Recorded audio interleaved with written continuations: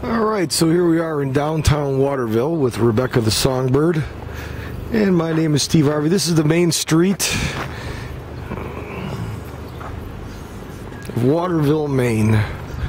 We finally have a vacation day after an incredible time. And here's the Thai Bistro where maybe we'll eat later on. And we're going downtown. And the International Film Festival is going on. Yep.